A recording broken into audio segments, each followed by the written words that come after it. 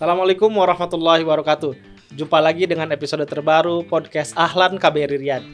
Pada podcast kali ini, kita akan menggali tentang profesi chef Indonesia yang bekerja di Arab Saudi. Sudah hadir bersama kita Bapak Eksekutif Chef Ya. Taufik Sutisna. Apa kabar Pak? Alhamdulillah baik, Pak Rizky. Alhamdulillah baik. Terima kasih atas eh, undangannya. gitu.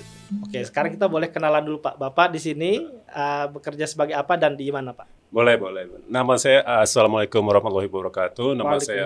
Taufik. Untuk saat ini saya bekerja di Hilton Riyadh Olaya sebagai executive chef.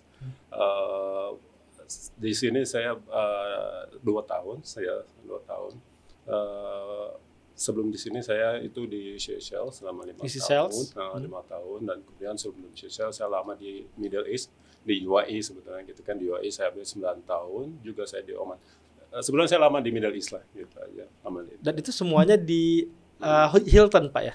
Eh, enggak, saya di di Hilton sendiri saya 10 tahun untuk Hmm. Hilton, tapi sebelum di Hilton saya di join di Jumeirah Group. Oh, Jumeirah. Yang di Jumeirah Emirat Group, itu di eh, Jumeirah. Emirat, eh, Jumeirah Group. eh, dan se- saya juga waktu itu eh, opening team di di Abu Dhabi itu di Yas eh, Viceroy namanya seperti itu. Hmm, sekarang sudah eksekutif chef Pak ya? Eh, iya betul. itu ya betul. tertinggi Pak ya untuk chef ya? Iya, untuk saat dibilang tertinggi sih belum Hmm. gitu kan masih ada level tertinggi setelah executive chef itu namanya culinary director. Tapi ini kalau culinary director itu lebih ke big operations gitu ya, lebih ke dia handling misalkan berapa eh, 10 restoran, 14 restoran dan sebagainya gitu. Nah, itu lebih lebih ke big operations. Itu ada tingkatan apa saja Pak di chef itu Pak? Kalau untuk di kitchen itu eh, di di chef itu ada paling tertinggi. Kita ngomong dari yang tertinggi gitu betul. ya, Pak, ya. Yang tertinggi itu eh, culinary director kita sebut ya. Hmm. Nah, kemudian ada executive chef, tapi umumnya itu se- untuk bintang 5 rata-rata mereka pakai executive chef Executive yang chef. tertinggi gitu Hmm, kan. Oke. Terus setelah itu di bawahnya ada executive sous chef. Eh, di bawah executive sous chef itu ada chef. eh, bukan ada chef de cuisine, Chef de cuisine. chef de cuisine. Nah, di bawah chef de cuisine itu ada sous chef. Oh, sous chef. Oke. Nah, setelah sous chef ada junior sous chef, terus ada chef de party, terus demi chef de party, komi satu, komi dua, komi tiga, oh Oke. panjang itu. Dan Pak Taufik sudah melalui itu semua Pak ya? Iya, kebetulan saya melalui itu semua gitu kan, melalui itu gitu. Saya mulai benar-benar dari bawah. Gitu. Dari mana? Dari komi. Dari cook helper. Saya. Dari cook helper itu malah. ada posisi yang paling bawah. Paling gitu. bawah. Oh, Itu kerjanya apa itu Pak? itu kerjanya waktu itu ya apa ya waktu itu lebih ke Motong-motong gitu Pak? motong-motong bersihin dapur Oh, gitu, ya eh, bantu ngangkat-ngangkat barang Oh, gitu, ya. gitu. jadi jadi kalau saya kembali ke awal cerita saya gitu ya di, di dapur ini eh, jadi waktu saya pertama kali terjun di dapur ya masuk ke ya, kitchen itu eh, saya masuk sebagai cook helper terus kemudian ya, dalam bayangan saya gitu kan kerja saya itu akan masak akan Iya, ini iya. akan seperti itu tapi itu nggak seperti apa yang saya bayangin gitu Apa Jadi, Pak yang terjadi Pak? pertama kali saya masuk itu kok saya disuruh bersihin apa chiller gitu itu Chiller, pendingin ya, gitu ya. kan terus saya disuruh motong-motong apa eh, bawang gitu ngupas-ngupasin bawang Dan itu ngupas- ber- berapa ngupasin kilo Pak gitu. buat mengupasin bawang itu? Wah pada saat itu eh, ini ya karena waktu itu hotel di Jakarta saya mulai karena di Jakarta jadi Jakarta belum banyak Iya. gitu ya Eh, bisa dalam seharian itu saya 20 kilo 30 kilo kerjaan itu sampai saya pikir Bawang-bawang doang itu Pak ya? Iya, Cuma bawang gitu. itu 10 Saya- kilo. Sampai saya pikir apakah ini benar profesi yang mau saya jalani gitu kan kok tiap hari kayak gini gitu kan Hmm. ada rasa rasa bosan ada rasa itu gitu kan ada rasa ah hampir saya give up gitu Ya. kan udah deh kayaknya ini bukan bukan kerjaan yang saya mau gitu Hmm. kan tapi saya pikir-pikir lagi terus kemudian saya dapat eh, apa namanya nasihat gitu kan dari para senior senior dulu gitu kan akhirnya ya udahlah saya masa saya nyerah juga gitu ya Ya. udah saya jalanin aja sampai di mana gitu kan Tahun berapa Pak itu waktu itu kitchen helper itu? tahun 93 gitu 93. 90 93 saya mulai karir saya 93 waktu itu saya kerja di eh, apa namanya eh, Daichi Hotel waktu Hmm, itu di Jakarta. di Jakarta waktu itu Nah, itu karir pertama saya gitu Hmm. kan Nah, udah saya pertama masuk, terus saya dimasukin masuk malam pula gitu kan. Dan selama tiga bulan saya masuk malam gitu Iya, kan. Nah, kebetulan ya itu tadi kembali kepada tujuan saya gitu. Ya udah saya jalani saya nggak nyerah gitu. Meskipun saya masuk malam gitu kan. Nah kemudian waktu itu eksekutif chef, eksekutif chef saya itu orang Jepang. Hmm. Uh, dia tinggal di hotel. Jadi waktu dia ngadain keliling gitu kan kayak dia, dia malam suka suka suka ngadain keliling checking gitu kan ya checking nah kebetulan di malam itu pas kebetulan pas dia mu- muter-muter itu ada yang selalu ada yang saya kerjain gitu, Oh, kan. gitu. selalu ada yang kerjain Kelihatan lagi kerja, kelihatan lagi kerja gitu kan padahal ada di sisi-sisi lain mungkin saya break kan. cuma kebetulan aja gitu kan kebetulan nah terus setelah tiga bulan dia ngelihat kemudian saya dipindahin Hmm. dipindahin ke bucket waktu itu ya kan nah di situ mulai saya belajar untuk masak Hmm. untuk eh, apa namanya eh, untuk masak untuk belajar makanan belajar eh, macam-macam lah Hmm. untuk basic-basic di dapur seperti itu Kalau memang pendidikannya pendidikan sebagai chef ya Pak? Eh, iya, kalau saya dulu lulusan di Akademi Perhotelan. Waktu itu saya lulus tahun 93, Akademi Perhotelan Sahid, saya waktu itu. Oh, Sebetulnya cita-cita kitchen ini bukan cita-cita saya dulu gitu. Oh, Kalau waktu gitu. kecil saya pengennya tuh malah jadi jadi pilot gitu. Oh, jadi kan. pilot. Jadi pilot mau ya saya gitu kan. Makanya saya nggak pernah daftar apa UMPTN atau apa gitu. Hmm. Memang dari awal saya fokusin untuk pilot Hmm. gitu kan. Uh, pilot, kemudian saya ikutin tahap 1, 2, 3 dan segala macam di, di pada saat itu untuk tes pilot. Nah, kebetulan saya gugur di Hmm. tahap Oh, sudah, keempat. sudah sampai tes Pak? ya? Iya, sudah sudah saya Hmm. tahap keempat. Nah, kemudian uh, kita diskus, saya diskus sama keluarga, keluarga bilang ya sudah coba lagi nanti tahun depan Hmm. gitu kan. Nah, untuk mengisi ini ya ambil kuliah tapi yang yang sifatnya kejuruan gitu Iya. kan untuk mengisi waktu seperti itu. Hmm. Ya udah saya pilih tuh eh, perhotelan. Nah, karena ada paman saya itu dulu eh, kerja di dapur Oke. sebagai chef juga gitu kan ya udah saya ikutin gitu kan saya itu uh, uh, kemudian pas uh, nah jurusan jurusan yang saya ambil ini waktu itu saya nggak tahu gitu ya nggak tahu uh, jurusan peralatan itu apa aja sih Oke. gitu kan atau dapur atau apa gitu kan jadi saya waktu itu pilih karena saya background saya waktu SMA itu ada IPA ya Hmm, A1 hmm, dulu iya. kan ya A1 Di mana Pak? SMA Pak? di SMA 3 dulu SMA 3 Tangerang dulu Oh, Hmm, saya oke. besar di Tangerang gitu Oh iya iya iya. Hmm, SMA 3 Tangerang Top itu Pak di Tangerang kan Pak ya? Iya itu dulu dia Iya. sekolah top gitu kan, sekolah top Tangerang. Ya karena background saya IPA gitu kan, jadi saya pilih sesuai yang yang saya pela- ah, relate sama itu Oke. saya gitu, related to apa waktu jurusan di SMA dulu. Jadi saya pilih akuntansi hotel waktu Hmm. itu karena saya kan eh, matematik saya bagus gitu kan, IPA saya bagus gitu kan. Saya nggak kepikiran itu apa itu waktu saya pendaftaran emang ada sih food production, food Iya. service dan segala macam gitu kan. Tapi saya itu nggak tahu karena saya bukan eh, apa sama sama sekali nggak ada pengetahuan itu Hmm. kan. Nah terus eh, udah gitu saya daftar akuntansi hotel, tapi pas pulang diprotes sama keluarga saya. Kenapa kamu masuk akuntansi hotel gitu? Enggak karena saya kan basicnya back- background saya kan ini IPA. IPA, Iya. matematika gitu kan. Saya kan gini saya tahu hitung-hitungan ini ini ini Hmm. kalau masuk perhotelan ambil yang emang apa itu di perhotelan terus saya udah tanya eh, discuss sama om saya gitu Hmm. kan om saya chef kan gitu kan ya udah saya ngomong om saya ya udah ambil aja food production apa itu food production ya jadi koki gitu Oh, gitu. jadi koki oh ya udah pada akhirnya saya ganti jadi apa food production ambil food production ya di itu Di Sahid ya di ya? Sahid eh, waktu itu masih di eh, Supomo Hmm, ya Supomo. tahun 92 deh waktu itu. Ya. Nah, kemudian setelah berjalan sebelum dia sebelum pendidikan itu berakhir apa program itu berakhir ada eh, job training Hmm. gitu kan. So saya saya ngejalanin job training. Nah, kemudian terus eh, job training saya belum selesai. Terus eh, ada itu ada apa namanya eh, Daichi itu waktu waktu di Oke. sini buka application iseng-iseng saya coba Hmm, Nah, saya diterima seperti ya udah saya akhirnya kerja di situ gitu. Jadi begitu selesai saya langsung kerja di di Daichi. Daichi. Nah, dari situ. Jadi ikut tes pilot lagi Pak tahun berikutnya. kemudian setelah itu ya setelah mulai kerja di hotel kayak gitu pikir sempat saya mau daftar lagi gitu Hmm, kan, mau hmm. daftar lagi tapi mikir-mikir lagi gitu kan. Ya udahlah saya itu saya coba apa jalanin dulu nih hotel gini kan bagaimana gitu kan. Gitu kan saya niat saya sih cuma setahun aja waktu itu di hotel ini saya coba Ya. gitu kan sambil saya uh, perdalam lagi itu apa uh, persiapkan diri lagi lebih matang untuk pilot Hmm. Uh, tapi setelah saya jalani setahun, yaitu setelah yang saya bilang itu setelah tiga bulan saya di Kenan Bucket, saya mulai enjoy. Oke, okay. oh. Uh, okay. Setelah tiga bulan itu mulai enjoy kan. Hmm. Nah, setelah itu udah saya lupa udah gitu kan.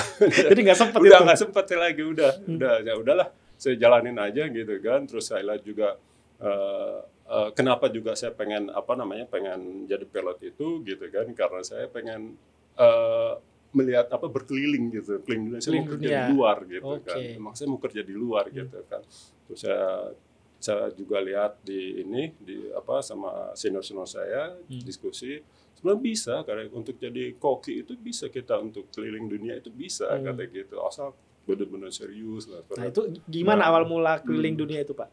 Keluar dari Indonesia, keluar nah, negeri keluar itu gimana? Indonesia, ada satu uh, orang yang sampai saya ini uh, istilahnya dia betul-betul menginspirasi saya gitu kan namanya almarhum sudah almarhum namanya Pak Almarhum Ghazali. Hmm. Uh, dalam hidup saya ada dua orang yang betul-betul saya hmm. sampai sekarang kayak ini gitu kan.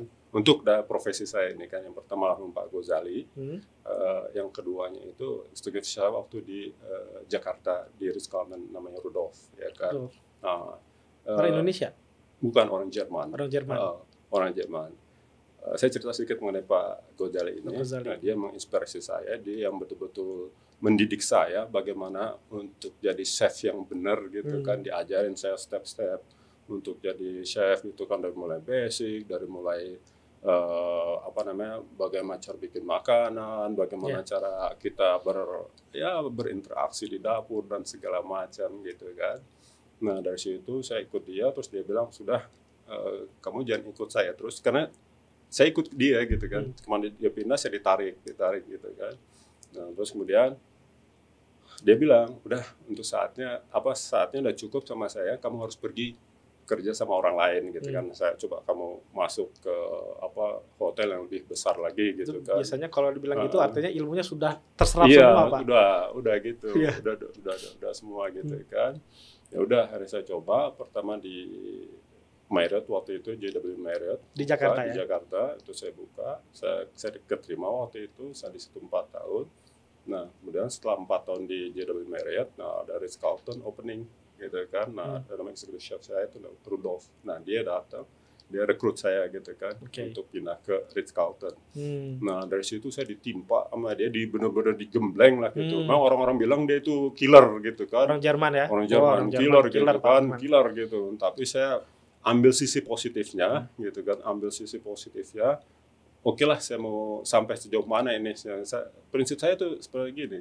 Uh, mau apa namanya nggak nyerah gitu ya kan. Sejauh mana gitu kan. Saya saya saya istilah saya ladenin lah yeah, gitu yeah. kan. Ya kan. Saya pikiran uh, saya ini mau cari ilmu gitu. Ini saya ini mau berkembang. Saya ini mau maju hmm. gitu kan. Gitu kan. Uh, udah saya pelajarin saya ikutin gitu kan sampai akhirnya dia bilang sama saya gitu kan uh, dia bilang kamu ini berbakat gitu kan cuma banyak yang harus yang kamu pelajari dia bilang seperti itu berat pak ya oh, wah berat jadi berat, itu pak. saya dengar chef tuh oh, ini sekali ya digembleng iya, betul-betul pak ya gembleng betul-betul gitu hmm. cuma waktu itu karena waktu saya waktu saya masih single jadi saya nggak ada beban lah gitu hmm. kan nggak ada yang misalkan kalau sekarang kan berkeluarga ya gitu yeah. kan kalau dulu mah saya kerja dari pagi sampai malam pagi malam saya saya, saya jabanin gitu ya kan saya jabanin gitu ya. Ah, udah lah gitu kan saya jabanin. Nah dari situ sama dia digembleng saya pertama mental dikasih tahu kalau kalau kalau kamu mau kerja di luar kamu harus seperti ini kamu hmm. harus begini harus begini gitu kan. Terus soal bagaimana dealing sama orang-orangnya itu kan bagaimana uh, apa namanya uh, manage the kitchennya yeah, itu yeah. kitchen management dan segala macam ah, segala ternyata setelah saya mengenal Rudolf ini uh, dapur itu tidak tidak mengenai soal bagaimana kita membuat makanan gitu kan hmm. tapi bagaimana juga menjadi soal bagaimana kita menjalankan restoran atau dapur itu dengan baik gitu kan uh, itu soal hubungannya soal makanan soal uh, manajemen soal costing soal apa people juga disebutnya seperti itu. Okay. jadi banyak faktor. Nah dari situ mulai gitu kan. Nah terus dari situ uh, dia bilang kalau kamu mau ini kamu harus keluar. Gitu. Keluar negeri maksudnya? Keluar negeri. Hmm, harus keluar negeri gitu kan ya udah saya coba gitu kan saya coba nah, kebetulan waktu itu ada eh, GM dari Jumeirah Oke. eh, datang ke nginap. Saya nggak tahu kalau itu lagi GM gitu kan. Saya kerja biasa aja gitu, biasa. Saya tawar, saya ketemu, saya ngobrol. Bapak waktu dia. itu uh, sous chef atau apa? Wah itu tuh saya susef. Ah, sous chef, susef. Waktu itu saya susef. Hmm. Ya kan, saya ngobrol sama dia gitu kan. Ternyata dia ngasih bisnis card-nya Hmm. dia ke saya suruh datang. Waktu itu datang ke lupa saya nama kantornya gitu ya kan. Di Jakarta ya. Di Jakarta saya datang, udah saya langsung pas saya datang, dia datang ternyata buat rekrutmen gitu. Ternyata yang datang udah banyak orang pak Hmm. gitu. Cuma karena pas saya bawa bisnis card, saya datang langsung ke dia. Ya udah ditawarin, kamu mau nggak kerja di Dubai gitu kan? Saya gitu. Ya saya mau aja gitu kan. Ya udah dari situ mulai diproses. Ya proses saya diterima kerja di Dubai. Ya kan. Ya, nah, di situ mulai ya. Di situ tahun 2006 saya datang ke Dubai gitu. Seperti itu kisahnya. Chef Taufik. Tadi belum kenalan tuh lupa tuh. Iya. Asal daerahnya dari Tangerang ya? Dari mana tadi? Oh gitu. Eh, kalau asal saya, kalau ibu saya orang Medan, Hmm. eh, bapak saya orang Bandung gitu. Orang Cuma Bandung. saya besar di Tangerang gitu. Jadi saya lahir di Medan. Kemudian kedua orang tua saya waktu saya umur 6 tahun pindah ke Tangerang. Hmm. Eh, dan, dan saya besar dari mulai SD, SMA, SMP sampai dengan SMA, sampai dengan saya kuliah di Porotan, saya itu tinggal di Tangerang. Di Tangerang. Oh, Ah. oke. Jadi lebih lebih nyaman dibilang orang Tangerang. orang Tangerang lah gitu ya kan orang Tangerang. itulah kenapa saya bilang kenapa saya mau jadi pilot gitu karena saya dulu tinggal di di Curug gitu Oh, kan dekat PLP sekolah- penerbangan sekolah gitu penerbangan. sekolah penerbangan Iya, iya, gitu saya tahu jadi itu. saya tiap tiap kali lihat pesawat apa latihan Iya. gitu kan di atas rumah kelihatan Hmm. gitu kan nah saya tinggal di situ dulu gitu Oh, kan oke. makanya saya bilang oh, udah saya mau jadi pilot aja Iya, iya, gitu iya. kan Saya tahu tuh daerah Curug Ah, tuh dari Pak. Iya, Curug, PLP dekat Curug sekolah. gitu Hmm. dulu namanya PLP Curug nah di, di, di situ gitu kan Hmm. Nah, di situ uh, kemudian ya, karena besar di Tangerang semua. Nah, kenapa saya bisa apa namanya? ah, ada lagi cerita saya waktu apa namanya? Mungkin ini uh, berhubungan sama profesi saya sekarang gitu kan. Ya, kata, waktu kecil dulu gitu, waktu kecil. uh, ya bangsa sekitar sekitar umur lima, ah, enam tahun, tujuh Hmm. tahun apalah gitu ya. Terus kalau saya mau keluar, misalkan saya mau main bola gitu Hmm. kan sama teman-teman setelah apa setelah pulang se- sekolah gitu kan ibu saya baru boleh saya main Hmm. bola kalau bantuin ibu saya dulu mm, di dapur Di dapur. Oh, di dapur. Ah, kadang-kadang disuruh saya itu apa goreng kerupuk, oh, disuruh ngulek ngulek Iya. cabe lah, ngulek apa gitu. Hmm. Jadi udah jadi otomatis tuh saya kalau mau main bola udah saya tanya dulu sama ibu saya nih apa ngapain nih sekarang karena saya biar cepat-cepat keluar main bola gitu Hmm. ngapain udah itu apa namanya kupas bawang Oh, kupas udah bawang. kupas Ini bawang Anak-anak digitu juga nggak Pak Iya. sekarang? enggak dia mana nggak mau dia Saya kira Kata dia, enggak. bawang juga. kata dia mah dia I don't want to be chef kata dia to be chef. iya ya udah gitu kan ya udah saya pikir ya udah asal asal nah gitu dulu waktu saya kecil Oke. gitu kan udah jadi koes apa aja lah kalau saya mau keluar entah mau main entah mau Iya. apa gitu pokoknya sebelum jam 4 kamu Iya. harus bantuin mama dulu di dapur gitu ya udah gitu entah itu nyuci beras entah apa gitu jadi makanya ketika saya sekarang ini dulu begitu kali ya gitu Iya, kenapa iya. sekarang ini di dapur gitu ya mungkin karena karena dulu waktu kecil begitu Hmm. gitu ya. gitu jadi cerita seperti itu Oke. gitu. Terus tadi Bapak cerita Hmm. pertama kali keluar negeri berarti ke Jumeirah Pak ya, ke Dubai berarti ya. ah sebelum itu saya eh, waktu saya di eh, Merit saya dikirim ke itu ke Merit Lisabon Oh, ke, ke untuk Portugal. transport gitu kan waktu itu ada Euro Cup 2000, Oh, iya, iya. 2004 kalau nggak salah Hmm. Nah, saya dikirim ke sana kebetulan nah waktu itu chef yang di sana Hmm. itu mau minta saya untuk jadi permanen di Portugal Hmm. gitu kan cuma karena waktu itu saya masih ya masih itulah masih mental saya belum ada Hmm. belum kuat dan segala macam gitu itu nanti kembali ke cerita yang waktu itu saya ketemu uh, Rudolf itu Iya. nah dia yang support saya untuk oke go ahead you, you go outside Kata, "Tuh, jangan takut jangan apa gitu dia dia, dia mentor saya lah seperti Hmm, itu hmm. kan gitu nah karena itu mental saya belum siap gitu kan akhirnya saya minta balik lagi ke ke Jakarta. Jakarta. Nah di situ Jakarta udah saya balik lagi. Nah terus baru saya setelah yang saya ketemu Chef Rudolf itu, Hmm. nah baru saya mulai keluar Hmm. itu ke ke Dubai Iya. gitu untuk kerja pertama kalinya itu ya itu itu di Dubai gitu kan di Dubai. Nah di Dubai saya situ di Jumeirah itu saya tiga tahun. Setelah situ saya pindah ke Abu Dhabi ya di di Yas Viceroy itu yang Hmm. yang Formula One itu saya Oke. opening tim di situ. ya kan dan situ nah setelah tiga tahun di situ saya pindah ke Oman ke Oman. Salalah Oh ke Salalah, Salalah, ya yang di daerah uh, Hilton. uh, barat itu. Ya. Ya, di situlah saya dapat executive chef pertama saya itu di tahun 2012. Oke. Oh, jadi 2012 eksekutif chef saya pertama di Salalah. Di Salalah. Itu Bajunya hitam seperti sekarang pak ya? Enggak, ganti-ganti ya. Jadi, oh gitu. Saya jadi, pikir oh, hitam itu enggak, hanya untuk enggak. eksekutif chef. Enggak, ya? enggak. Ada yang putih, ada yang macam-macam. Itu tergantung selera chefnya aja. Oh gitu. tergantung. Saya pikir chef Kadang-kadang hitam tuh Enggak. hanya boleh se- eksekutif, enggak ya? Enggak, kadang-kadang saya putih, kadang-kadang abu-abu, kadang-kadang biru, kadang-kadang tergantung aja gitu. Hmm. Tergantung moodnya aja. Tergantung gitu. oh gitu. Kalau di tentara tuh eksekutif chef itu jenderal pak ya, kurang lebih ya. Jenderal lah, bintang 4 lah Oh, gitu bintang istilahnya. empat, aduh. Jenderal bintang 4 lah itu Hmm. chef gitu Hmm. gitu kan karena dia kan eh, apa namanya membawahi operasional dapur semuanya kan bertanggung jawab terhadap rekrutmen Hmm. Iya. gitu kan, costing, menu, konsep dan segala macam Hmm. terus kemudian business plan, Iya. forecast dan segala macam. Jadi itu itu kerjaan apa executive chef gitu. Sekarang bapak berarti sudah berapa tahun jadi eksekutif chef ini?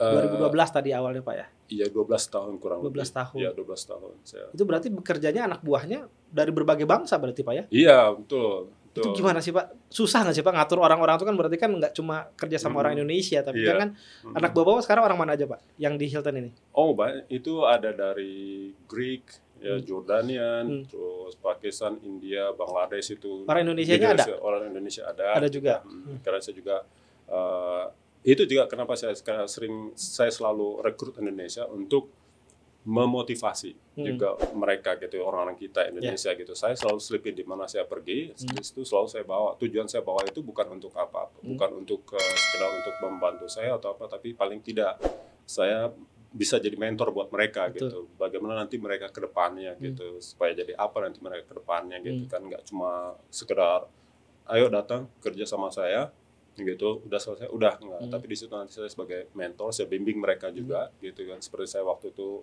belajar dari banyak chef gitu Hmm. kan. Nah ya seperti itu tujuan saya gitu. Banyak pun yang dari yang staff-staff saya sekarang mereka udah growing gitu kan. Ya. saya kembali seperti yang saya saya adopsi betul dari apa yang eh, eh, apa yang menginspirasi saya dulu gitu. Dua orang menginspirasi saya. Jadi ketika mereka udah cukup bekerja dengan saya ya udah saya suruh lepas untuk untuk kerja lagi sama orang Oke. lain gitu, supaya mereka lebih berkembang gitu Mhm. kan gitu kan Nah, itu. Tantangannya apa pak? Membangun tim dengan Hmm. berbagai Mhm. nationality, berbagai bangsa itu apa pak?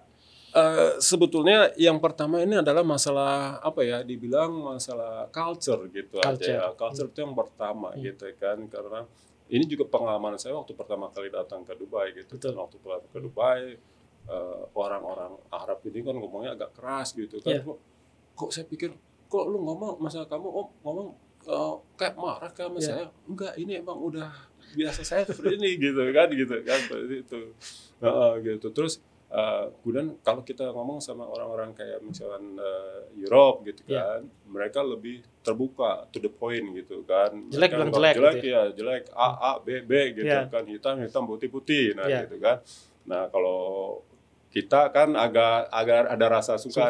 Nah betul. inilah kelemahan yang itu yang yang bukan kelemahan maksud saya ini yang betul-betul kita harus ini ya kita harus be- bukan benahi tapi ini sisi rata-rata kebanyakan orang-orang kita terutama anak-anak muda sekarang Hmm. ini gitu ya Nah, seperti itu jadi eh, mental itu masalah mental gitu kan Eh, kita itu belum terbiasa untuk eh, kayak open minded gitu bilang A adalah A kita masih ada sungkan-sungkan gitu Oke. jadi ini yang saya pelajarin untuk untuk sukses itu ya seperti itu kita harus uh, straightforward gitu straightforward kita nggak ada istilahnya "Hmm, ini nanti nggak enak hmm, Oh, nanti gitu. gimana gimana udah aja ini soal kerjaan kita profesional gitu Hmm. kan di luar kerjaan ya kita as a friend terserah as Iya. a brother terserah gitu Hmm. kan nah begitu saya juga yang saya lakukan seperti itu karena kan kita ber- dari berbagai macam culture berbagai macam bahasa background dan segala macam bagi saya saya nggak ngeliat itu dulu dari dari mana enggak tapi pekerjaannya bagaimana gitu kan Iya, betul. pekerjaan bagaimana gitu kan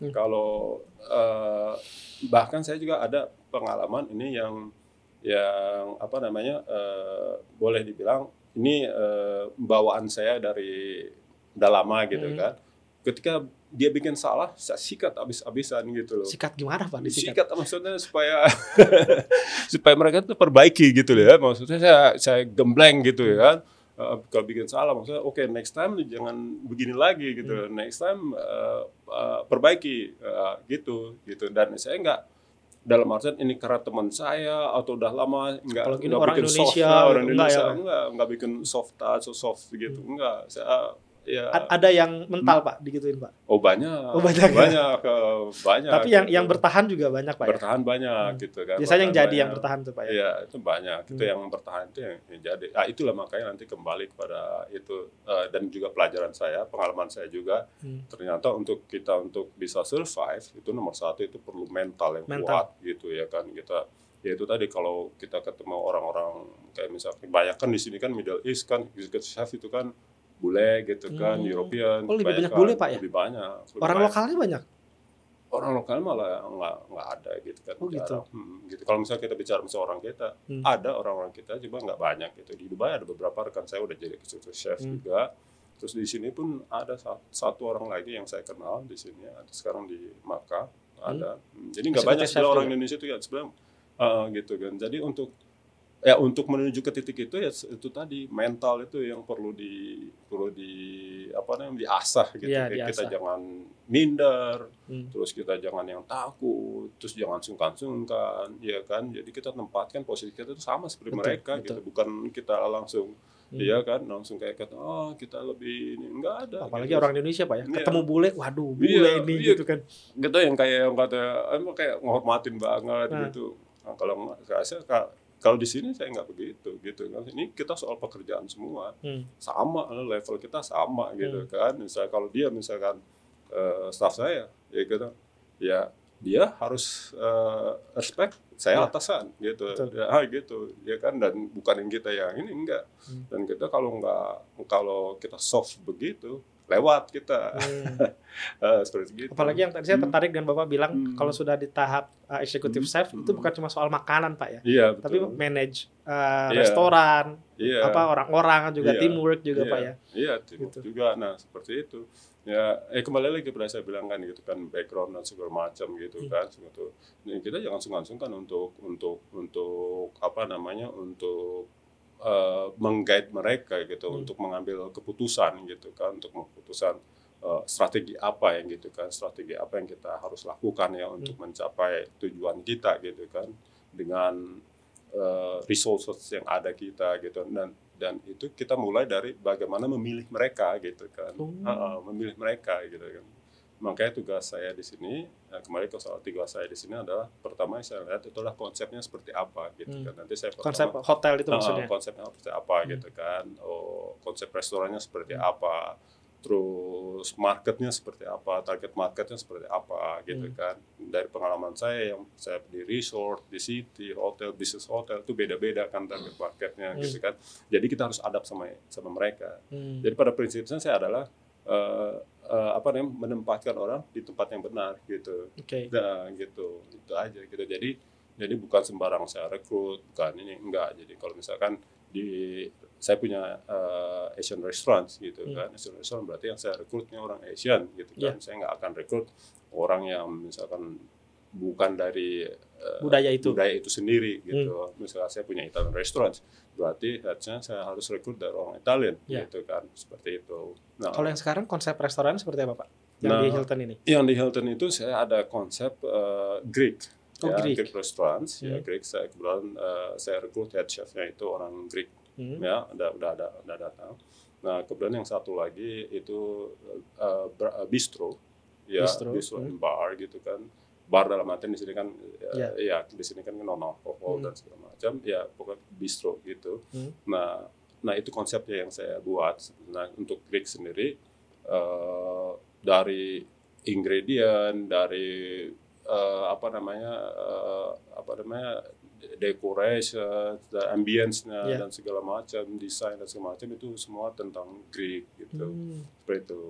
Terus, Ada ada berapa restoran Pak di Hilton eh, sekarang? kita ini rencana tiga restoran. Tiga restoran. tiga itu, restoran. itu Bapak semua yang handle Pak ya? Iya, Hmm. iya dari mulai konsep, dari mulai uh, apa namanya equipmentnya, hmm. dari mulai uh, apa rekrutmen segala macam itu saya yang handle itu hmm. semuanya gitu kan.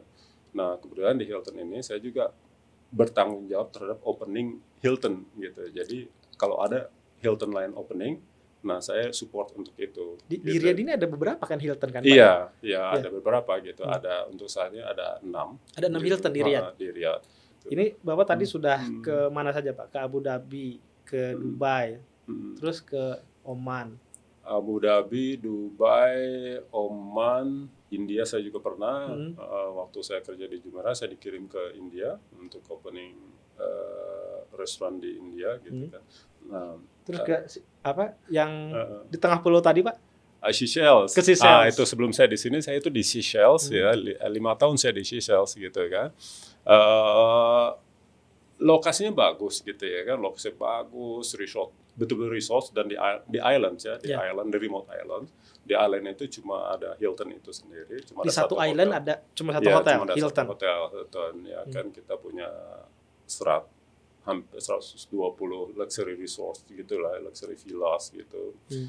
uh, enak lah gitu ya itu resort itu untuk benar-benar untuk yang untuk yang apa namanya uh, kayak benar-benar vacations gitu. Jadi mm -hmm. nah ketika kita bayangin untuk island ya kan kita cuma ngelihatnya misalkan bayang kita adalah cuma uh, apa namanya laut gitu. Yeah, yeah. Nah, enggak gitu. Di situ banyak aktiviti yang bisa dilakukan gitu ya, hiking, sepeda, segala oh. macam, cycling gitu. Mm. Gitu kan banyak seperti itu. Nah, ya banyak banyak aktivitinya gitu. Ketika saya datang ke sana, ya waktu itu di ditugas ditugasin uh, ke Hilton Shell saya bilang oke okay, gitu kan pas datang saya pikir ya culture shock juga hmm. mungkin kan aduh ini kan pulau gitu ya kan yeah. gitu ya pulau segala Waktu itu sudah sudah menikah pak ya?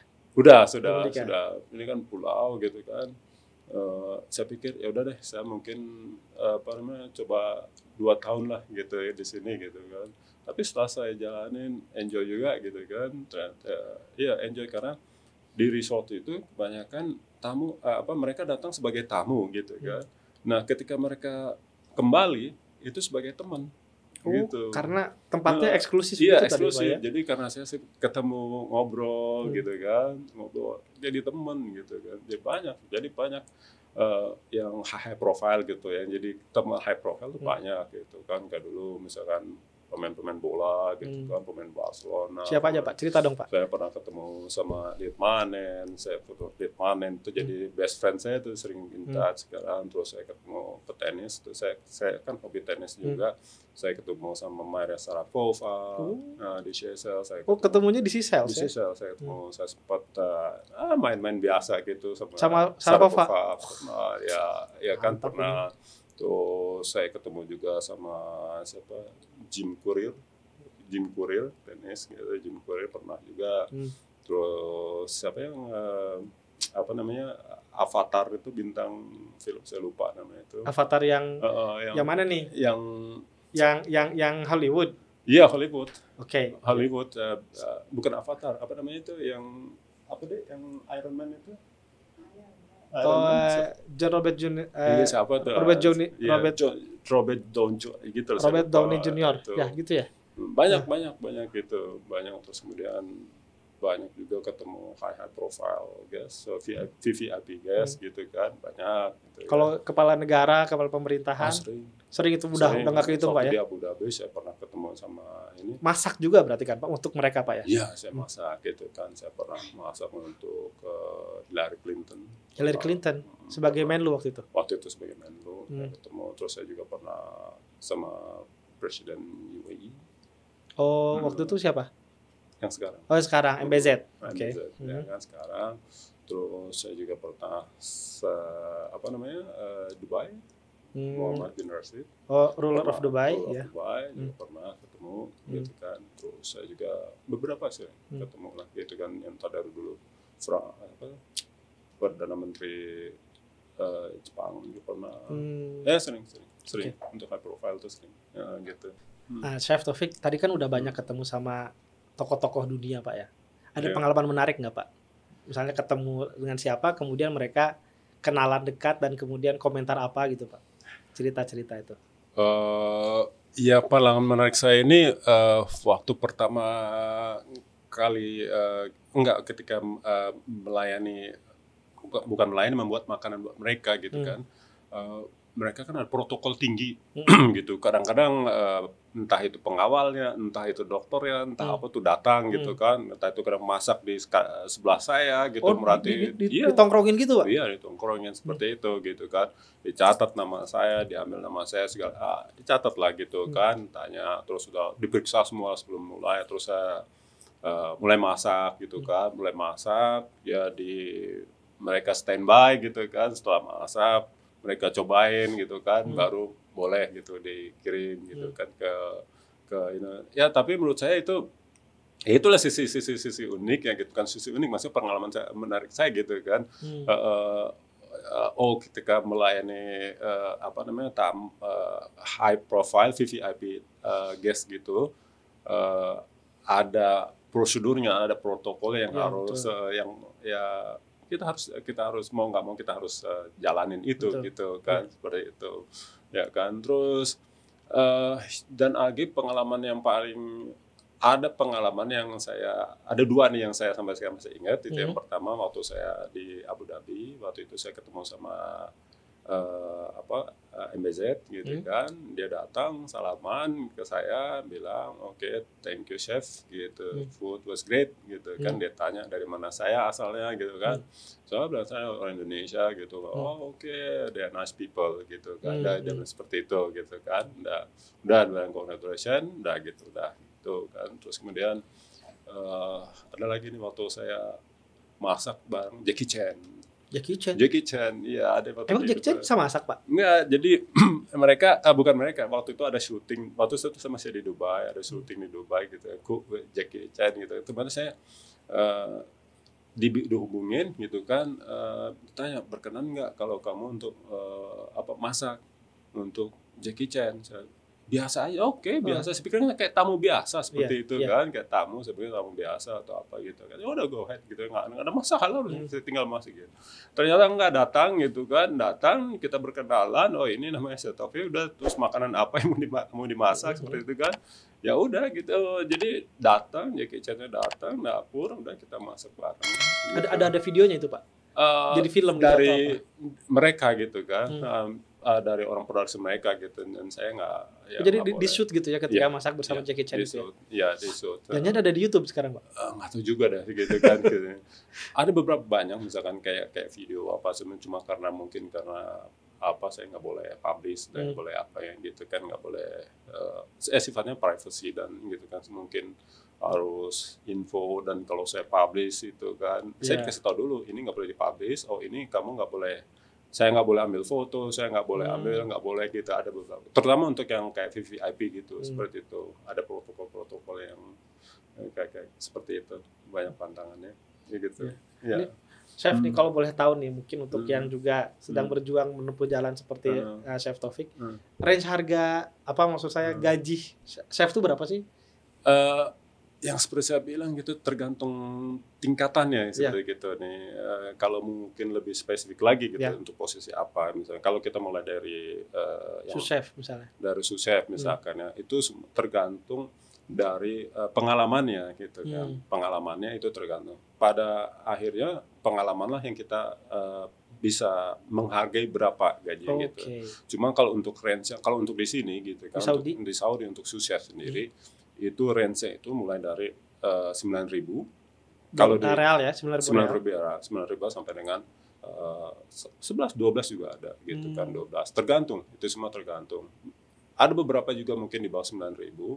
Uh, tergantung bisnisnya seperti apa gitu kan. Tergantung model bisnisnya tergantung hotelnya hmm. level of hotelnya gitu kan. Apakah dia termasuk medium scale hmm. high scale gitu. Uh, semua itu tergantung. Jadi saya nggak bisa memastikan. Ya betul. Uh, berapa jumlahnya atau apanya gitu kan. Cuma umumnya gitu kalau kita bicara soal misalnya high scale hmm. ya antara 9 sampai 12 ribu. itu ada untuk 9 ribu Uh, Real itu berarti kalau dirupiahkan uh, berarti sekitar 30 juta berarti ya. Sekitar segitu, sekitar segitu. Gaji di Indonesia sebesar itu juga untuk susef?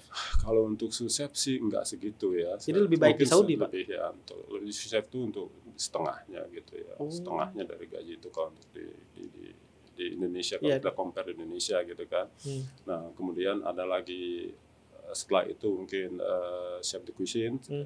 Eh, itu sebetulnya tergantung dari pengalamannya gitu kan, ter backgroundnya seperti apa gitu kan. Eh, ya antara 12 sampai dengan 15 kalau chef de cuisine itu ya kan terus executive chef ada yang 15 sampai dengan 20 juga ada Hmm. seperti itu dan ya, kalau kisaran executive chef beda-beda gitu kan beda-beda kisaran executive chef gitu kan Oke. Nah, mantap. seperti itu Nah, ini mungkin Ya. yang terakhir nih chef. Heeh. Di sini eh, banyak yang nonton mungkin Hmm. ada eh, junior-junior Chef Hmm. Taufik yang ingin menempuh seperti Chef Taufik ini ada pesan-pesan Hmm. untuk mereka bagaimana caranya bisa Hmm. menempuh ja- dapat seperti eksekutif chef lah seperti Chef. Taufik. Silakan Pak, sini Pak. Oke, Eh, untuk rekan-rekan semua, terutama untuk adik-adik yang mau berkarir di dunia chef, dunia kitchen, gitu ya. Eh, dari saya dan mungkin pengalaman saya, gitu kan. eh, yang pertama itu adalah jangan pernah menyerah, gitu kan. Belajar terus, gitu kan. Karena di dalam di dapur ini kita bukan seperti matematika gitu satu tambah satu sama dengan dua gitu kan. Tapi di dapur ini bisa satu tambah satu sama dengan tiga sama empat. Kenapa saya bilang seperti itu?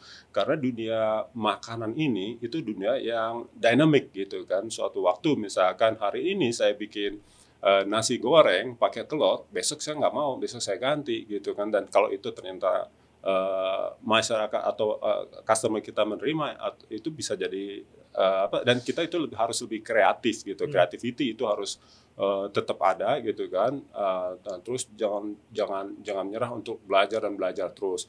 Terus jangan lupa juga ikut untuk mengikut- mengikuti gitu trendsnya seperti apa gitu. Karena bisnis makanan itu yang seperti saya bilang dynamic gitu. Suatu waktu akan berubah terus gitu kan. Mungkin re- restoran ini hari ini dia populer gitu kan mungkin nah terus kemudian eh, dalam dua tahun maksimal dua tahun mungkin itu akan berubah lagi Hmm. nah seperti itu jadi ya tetap belajar tetap kreatif gitu kan jangan menyerah ya terus persiapkan mental dengan baik karena di dapur itu eh, perlu eh, apa namanya disebut perlu dedikasi yang tinggi Hmm. perlu disiplin yang tinggi ya dan perlu eh, fokus gitu aja itu menurut saya eh, saran dari saya gitu aja ya Baik, Ya. terima kasih banyak Chef Eh, Taufik Sutisna sudah ya. berkenan ngobrol-ngobrol di podcast kasih, KBRI. Riyadh. Eh, Dan eh, baik pemirsa, itu saja Hmm. yang bisa kita hadirkan hari ini. Ngobrol-ngobrol seru dengan Chef Taufik Sutisna. Mau dengan siapa lagi profesional WNI di Arab Saudi? Silahkan jangan lupa komen di bawah ini. Demikian, Assalamualaikum warahmatullahi wabarakatuh. Waalaikumsalam. Terima kasih. Terima kasih.